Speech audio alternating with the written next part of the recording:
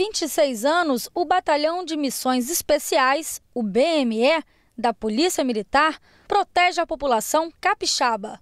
E nesta segunda, 3 de setembro, foi comemorada a existência da corporação com uma solenidade no quartel do BME em Vitória. Durante o evento, o governador do estado, Renato Casagrande, destacou a nova lei sancionada.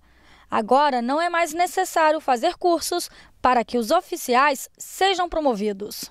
O BME é uma força especializada, trabalha em operações especiais, trabalha em ações que exigem uma presença mais forte, mais intensa. Essa força ajuda em diversas operações de redução de homicídio no estado do Espírito Santo e isso tem dado resultados objetivos para nossas comunidades. O governo do estado investiu mais de 5 milhões e 600 mil reais na aquisição de equipamentos, viaturas e armamentos que possibilitaram o sucesso das operações especiais do BME. Foram 5 milhões de equipamentos, viaturas, armamentos, que sem sombra de dúvidas contribuem muito para as operações lá na ponta, né, que a gente costuma chamar, onde a tropa realmente está atuando em benefício da sociedade nessas áreas definidas no programa do Estado presente. Durante a solenidade, os pioneiros do BME foram homenageados.